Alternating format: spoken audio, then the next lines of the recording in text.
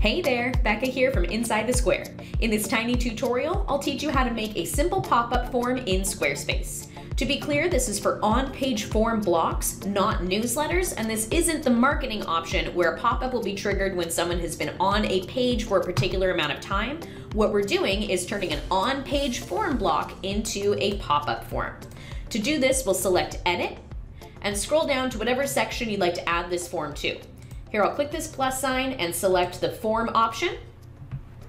And over here, under design, I can toggle on Lightbox. This allows me to create a button here I can type whatever text I'd like to show up on the button for when people click on this button to open the form, and I can change the alignment here. There are many other form options for content and for storage. I have additional tiny tutorials on how to edit this form. Right now we're focused on just making it a pop-up, which is under Design, Lightbox.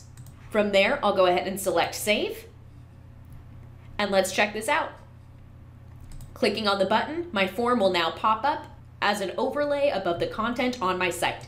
Let me show you how we did that one more time. We're gonna hop into edit mode. Let's go ahead and add a form right here. We'll select the form block after clicking that blue plus sign, and under design, we're gonna turn on the light box. Here you can type whatever text you'd like to show up on that button to trigger the pop-up form and change the alignment of the button as well. Again, additional options for content and storage are available. Check out my other tiny tutorials for info on that.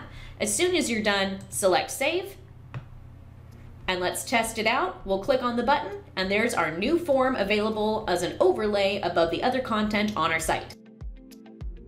For more tiny tutorials like this one, visit InsideTheSquare.co.